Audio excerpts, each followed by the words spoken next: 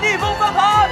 哎，是的。那么在这一场比赛中呢，Chase Man 是成功的把白狼这个式神在中后期装备成型后的恐怖爆发发挥的是淋漓尽致啊，带领 ZGDX 拿下了比赛。哎，那当然呢，这一局 Smiley 的表现也是非常的亮眼，成功证明了自己的雪女是可以拿上场的。哎，所以说谁说必须迷信于版本，对不对啊？我跟你讲啊，自保一这个战术看来还是可以用的。哎。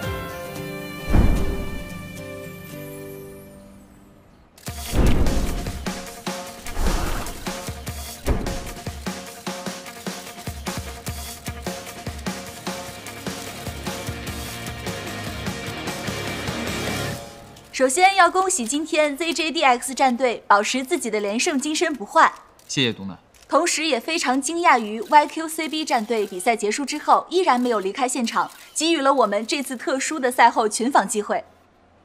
其实是想走的，但是教练不让，按住我们在休息室，一定要让我们看看四保一怎么打，因为是新尝试的战术，所以我们都不太熟练。你好，我想问一下 ZGDX 战队。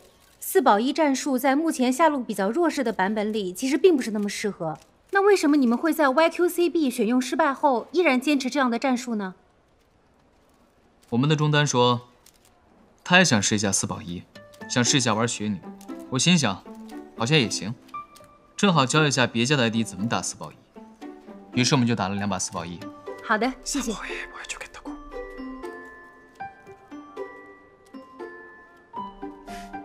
我想问一下 YQCB，今天第二把结束之后发生了一些小意外，第三把哀家选手就没有出现在首发阵容里，请问您是被禁赛了吗？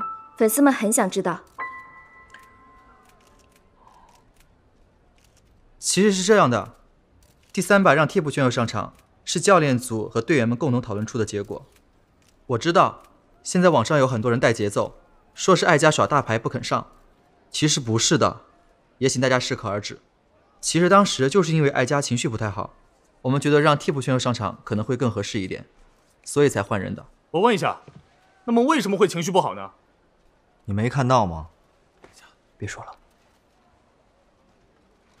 我想问一下，这段时间一直关于选手私人感情生活的节奏不断，作为职业选手的你们对此是怎么看的呢？顺其自然吧，没太多往那方面想。我们每天大部分的时间都在训练，很少有时间接触外面的人，所以大家大部分都还是单身。哎，这这这也不代表我们敬老和尚庙啊，不是找不到，但也不是不想找，也不是不能找啊，反正要弄清楚这怎么一回事儿。但是不少粉丝还是希望选手能够专注的打比赛，在世界赛上争取拿下世界冠军。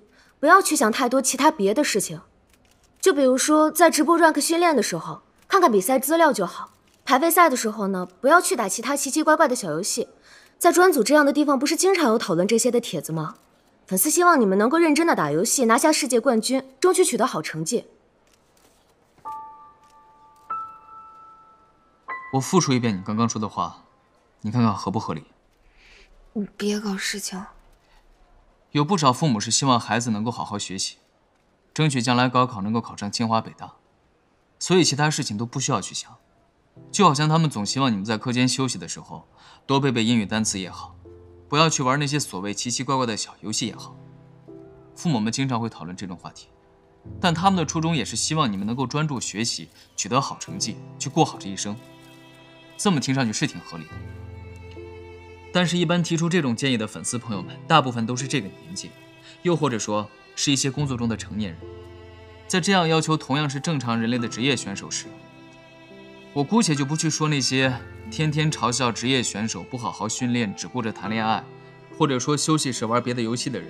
你们自己会不会在上课或者上班的时候拿出手机来摸鱼玩贴吧？我只是希望大家换位思考一下而已。大家都很年轻的。谁上课没有开过小差？谁上课没有睡过觉？没有偷看过班花？虽然我没有类似这样的经历，但是我想说，职业选手有什么不同？就要像圣人一样完美无瑕。人无完人，如果整天拿选手今天玩俄罗斯方块，明天玩贪吃蛇，后天谈恋爱这些来说事儿，是很无聊的。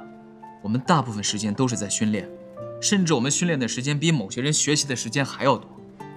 有很多人高中毕业的时候因为异地恋，相隔两地不得不分手，而我们打职业的，打着打着就被甩了。为什么？你觉得整个说的是谁？还能谁啊？为什么呢？建议你们去采访一下 CK 战队打野杨神，他会告诉你们为什么。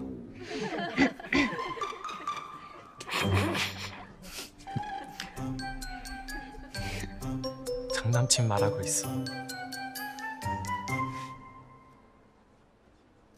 陈哥，你好像对这些很有心得呀。我的年纪在这个圈子里面也不算小，我打职业很多年，见过的事情也比较多。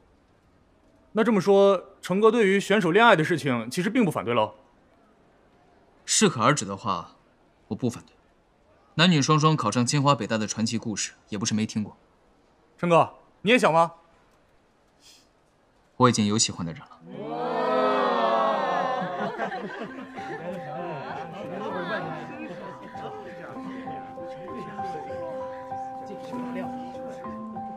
他喜欢他，有喜欢的人了。我的天，좋아하는사람이있대。 他什么也没说，你什么也没听见。不要脸红，不能脸红，呼吸不能加重，淡定，要淡定。 那对一些要求过高的粉丝，陈哥有什么想说的吗？很感谢粉丝朋友们的支持与喜爱，未来的比赛我会好好努力。如果可以的话，希望多来现场支持。还有我想说，如果你真心喜欢一个职业选手，就离他的比赛台近一点，离他的生活远一些。谢谢。